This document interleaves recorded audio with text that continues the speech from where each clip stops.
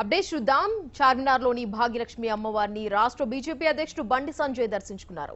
భాగ్యలక్ష్మి అమ్మవారి దగ్గరకు ప్రమాదం చేసి ప్రమాణం చేసేందుకు సీఎం కేసీఆర్ వస్తారని అనుకున్నట్లు బండి సంజయ్ అన్నారు.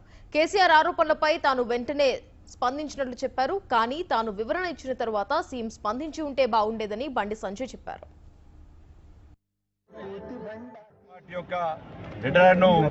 ముద్రించడము నా సంతకాన్ని కూడా ఫోర్జర్ చేసి ఎన్నికల కమిషన్ రాయడం. దాన్ని సాక్షాత్తు రాష్ట్ర ముఖ్యమంత్రి గారు భారతీయ జనతా పార్టీ వల్ల నిధులు ఆపేసము. వరద బాధిత వరద ముంపు గ్రామాలు ముంపు ప్రాంతాల్లో వాళ్ళకి ఇచ్చినటువంటి డబ్బులను ఆపేస్తామని చెప్పి ఒక రాష్ట్ర ముఖ్యమంత్రి స్థాయిలో ఉన్నటువంటి వ్యక్తి ఆరోపించడం చాలా బాధ అనిపించింది.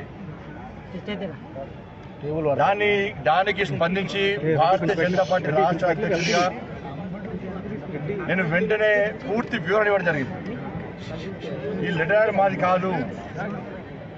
ఈ సంతకం నాది కాదు. గతంలో అనేక సందర్భాల్లో రాష్ట్ర ముఖ్యమంత్రి గారికి లేఖ రాసినాను ఎన్నికల కమిషన్ లేఖ రాసినాను దాన్ని తెప్పించుకొని చూసి స్పందించినటువంటి రాష్ట్ర ముఖ్యమంత్రి దానికి భిన్నంగా స్థాయిని మరిచి స్థాయి దిగజారి ప్రజల దృష్టి మళ్ళించే విధంగా ప్రజల కూడా తప్పుడు ఆలోచన కల్పించే విధంగా భారతీయ జనతా పార్టీ లేఖ రాసింది. భారతీయ జనతా పార్టీ వల్లనే మేము